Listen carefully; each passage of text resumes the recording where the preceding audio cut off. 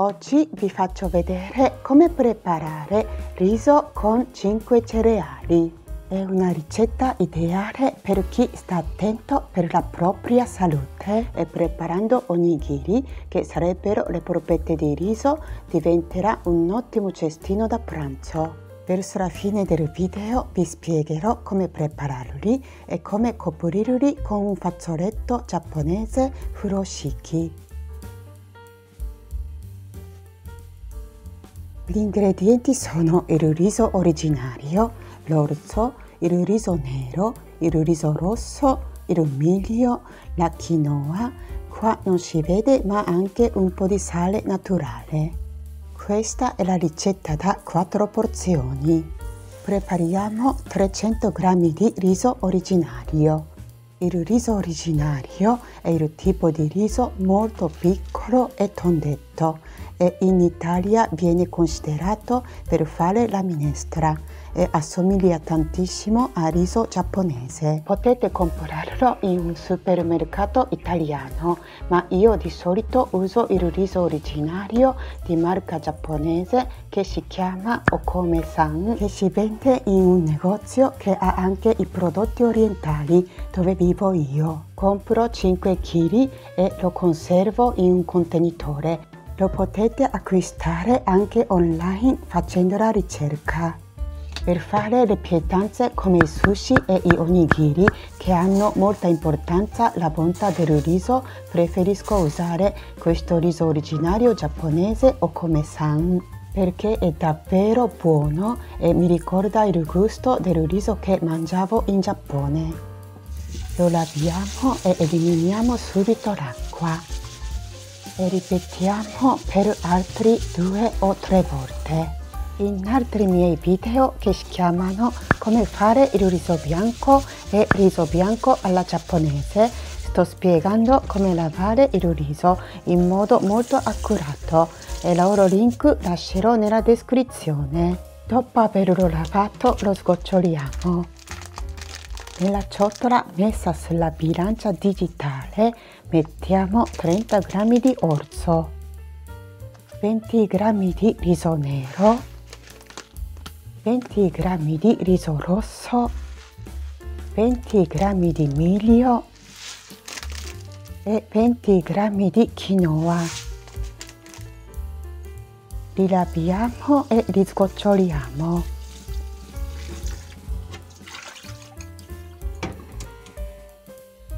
Ora capiamo quanta acqua da mettere per cuocerli. Per il riso originario calcoliamo per 1,3, quindi 300 g di riso originario per 1,3 fa 390 g.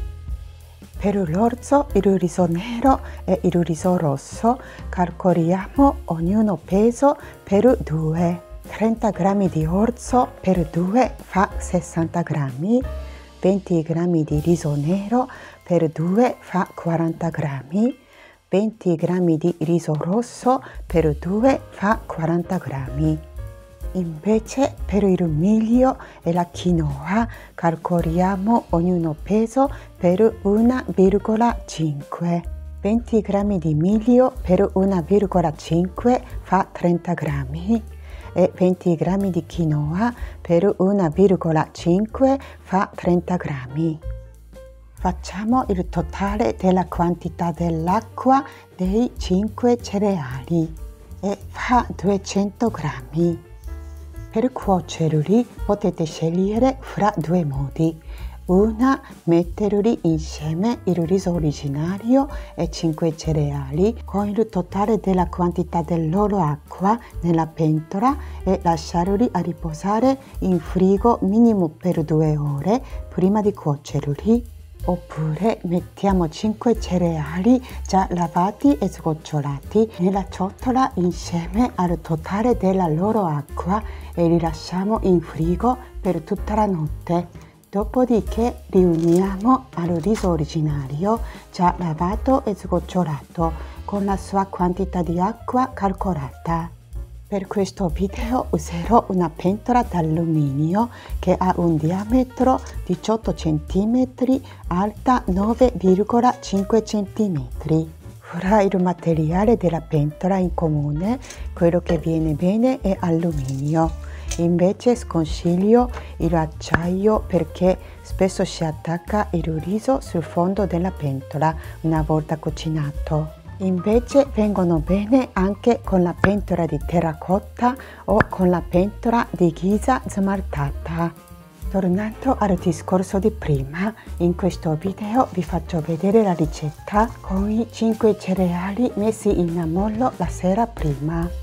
Nella pentola mettiamo il riso originario lavato e sgocciolato e mettiamo giusta quantità dell'acqua per 300 g di riso che abbiamo calcolata prima, quindi sono 390 g. E mettiamo 5 cereali con l'acqua che abbiamo calcolato. Soprattutto il riso nero e il riso rosso che sono integrali chiedono la cottura molto più lunga del riso originario, per questo che lasciamo in ammollo la sera prima. Mettiamo 3 pizzichi di sale naturale. 1 2 3 una volta mescolati bene tutti insieme, appiattiamo con la mano la superficie dei cereali. Chiudiamo la pentola con il coperchio e lasciamo a riposare per mezz'ora, soprattutto per il riso originario. È passata mezz'ora e posizioniamo la pentola sul fuoco della giusta misura per la grandezza della pentola. Mettiamo il peso grosso sul coperchio, nel mio caso un mortaio di marmo. Accendiamo il fuoco al medio alto. Assicuriamo che la pentola sia posizionata al centro del fuoco e facciamo bollire l'acqua. Nel mio caso ci sono voluti 4 minuti e mezzo. Quando arriva a ebollizione abbassiamo il fuoco al minimo e cuociamo fino al completo assorbimento dell'acqua. Nel mio caso ci sono voluti 9 minuti. Comunque state attenti per il suono dell'interno pentola e per il profumo del riso cotto e per capire se sono cotti li assaggiate e se sono duri aggiungete un po' d'acqua e continuate a cuocerli altro un minuto o due minuti. Invece se sono cotti giusti spegniamo il fuoco e li mescoliamo sotto e sopra e richiudiamo il coperchio e lasciamo riposare per 15 minuti. Sono passati 15 minuti, mescoliamo per l'ultima volta. Ecco il nostro riso con 5 cereali è pronto. Lo mettete nella ciotola per il riso e lo mangerete insieme con altre pietanze tipo la zuppa di miso, la frittata giapponese tamago yaki oppure un piatto di carne o di pesce con le verdure. In questo periodo l'ho cucinato spesso per fare gli onigiri e poi lo portavo al lavoro per il pranzo.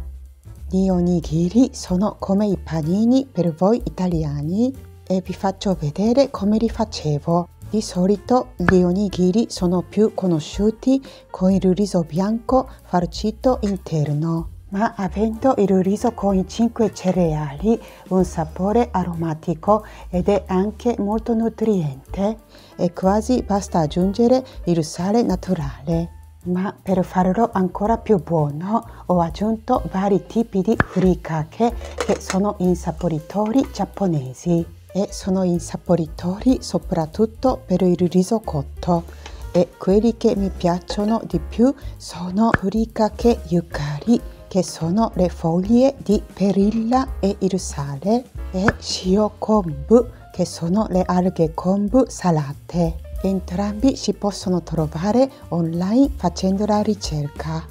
E come insaporitore sono ottimi anche goma shio, che sono i semi di sesamo tostati e macinati con il sale si possono preparare anche a casa e attacco il link nella descrizione sulla video ricetta. Un altro insaporitore che vi consiglio è la purea di umeboshi, che sono le prugne salate essiccate e la potete trovare in un negozio biologico. Mettiamo un po' di questi insaporitori furikake nella ciotola dove abbiamo messo riso con 5 cereali. Non lascio nella descrizione le dosi per fare gli onigiri, ma con il riso con i 5 cereali cucinato in questo video vengono circa 8 pezzi di onigiri e una volta messi vari tipi di insaporitore lo mescolate bene e lo assaggiate così decidete la sapidità che preferite. Metto anche un po' di sesamo bianco tostato non salato perché la sapidità è arrivata al buon punto. Mescoliamo bene tutto insieme. Guardando la quantità vengono 4 onigiri, quindi lo divido in 4. Prepariamo una ciotola con l'acqua e nostre mani devono essere molto pulite e bagniamo le mani con poca acqua e mettiamo un quarto di riso con 5 cereali sul palmo della mano e con un'altra mano piegata come potete vedere riformiamo a triangolo. Per farli unire diamo la pressione con le mani, ma non deve essere troppo. L'ideale sarebbe che saranno attaccati tra di loro per diventare unica forma, ma fra i cereali e i chicchi di riso rimangano spazi minuscoli così quando li mangiamo si disfano in bocca. In questo modo prepariamo anche altri tre onigiri. Useremo un foglio intero di alghe nori più un terzo di foglio.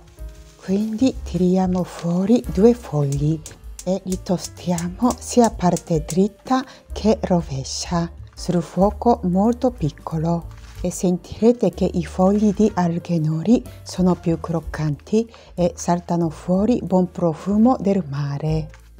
Teniamo in basso il lato più lungo e lo tagliamo in tre parti uguali. E usiamo quattro pezzi. Quelli che non usiamo mettiamo nel sacchetto. E sacchetto di alghe nori e spesso non abbiamo la possibilità di chiuderlo bene. Quindi vi consiglio di metterlo in un altro sacchetto più grande possibilmente con lo zip per non fare entrare l'aria appoggiamo gli onigiri con le alghe nori Se mangiate subito gli onigiri sono ancora caldi e l'arughenori è croccante. Ma se anche li mangio al pranzo dove non ho la possibilità di scaldarli, comunque sono sempre buonissimi. Anzi, non essendo caldi, si sente più sapore di questi onigiri che sono davvero speciali. Per poter portare via come un cestino, copriamo ciascuno onigiri con la pellicola. In una giornata che non è troppo calda portavo anche un thermos nel quale posso mettere la zuppa di miso. Dopo sei ore la zuppa era ancora bella calda. Ho già pubblicato diverse video ricette della zuppa di miso e attacco il link nella descrizione. Sulla immagine potete vedere la zuppa di miso con le tante verdure, le melanzane, le cipolle, i cipollotti, le patate e le carote. Andiamo a coprirli con il fazzoletto quadrato che si chiama furoshiki Esistono i froscicchi molto più grandi che si usa per coprire le cose più grandi e voluminosi, ma per il cestino da pranzo è in comune quelli che ha 50 cm al lato. Dico la misura per chi vuole farlo con il tessuto che troverete in Italia. Per coprire il thermos lo metto al centro furoshiki con un cucchiaio di legno e un fazzoletto da carta e prendiamo due punti diagonali e facciamo un nodo e anche altri due punti diagonali facciamo stessa cosa Invece gli onigiri li mettiamo al centro e li copriamo piegando il tessuto da due punti diagonali e con due punti rimasti creiamo un nodo. Sull'immagine avete visto quattro onigiri, ma per una donna sono sufficienti due o tre onigiri. Quando preparo il riso con i 5 cereali ne faccio anche il doppio della quantità della videoricetta di oggi e un po' lo mangio il giorno stesso e anche il giorno dopo, ma la maggior parte lo congelo dividendolo con la pellicola. Così quando ho bisogno lo tiro fuori dal freezer la sera prima e lo scaldo col microonde e se volete fare anche voi come me vi consiglio di etichettare con la data e cercate di consumarli entro due mesi. Questo video termina qui, se vi è piaciuto potete lasciare un like o un commento per farmi sapere cosa ne pensate. E se non volete perdervi i prossimi video potete iscrivervi al mio canale cliccando sul pulsante iscriviti qui sotto. Ci vediamo presto con la prossima video ricetta. Ciao a tutti!